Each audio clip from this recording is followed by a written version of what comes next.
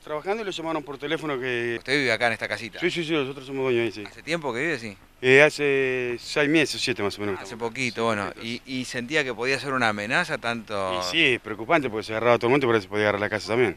Aquella otra casita de allá casi estuvo ahí a la orilla del fuego. Menos mal que no alcanzó a prenderse fuego.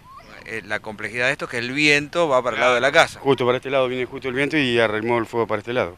Que ni llegaba y se encontró con Sí, la novedad. Sí, sí, me llamaron para que se estaba prendiendo fuego y bueno, y vinimos enseguida al toque nomás. Pero bueno, Y ahí llamaron a los bomberos. y llevaron a bomberos, no sé, un vecino, alguien llamó y, y listo, bueno. Bueno, la situación parece estar controlada. Sí, sí, yo creo que sí, ya está, listo. Hay que tomar alguna medida, ¿crees? Sí, no sé, que yo lo que prenda en fuego, por lo menos, no sé si habrá sido algún pibe, alguno grande. La verdad que ni idea. Sí, bueno, está- se nota que está seco, ¿no? Se ve que han prendido fuego por aquella zona ya, más o menos. Con el viento se vino por este lado. Está seco, sí.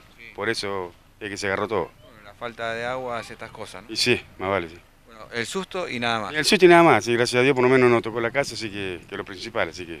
Y que, hay, que nadie se prendió fuego, así que también.